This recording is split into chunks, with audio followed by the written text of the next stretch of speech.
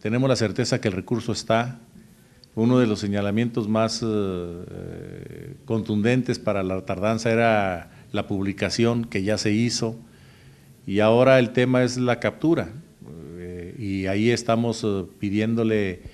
a la gente de Acerca, el viernes pasado tuvimos una reunión donde hubo compromisos, estuvo el, el regional de Acerca y ahí se comprometió y tengo que decirlo también el, el, delegado, el delegado eh, de, de Zagarpa, pues eh, le mete un personal extraordinario a, a, este procedimiento, la Secretaría también de Agricultura, porque vemos que Acerca pues no tiene personal, entonces hay que agarrar eh, ahora sí que el recurso humano donde esté y logramos esta disposición de parte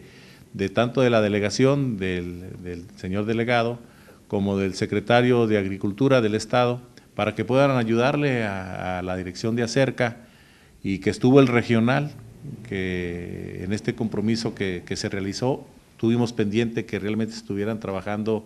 sábado y domingo, allí estuvieron en doble turno